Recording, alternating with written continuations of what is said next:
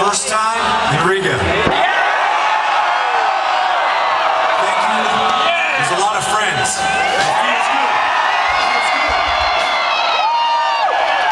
Please sing loud, Harvester.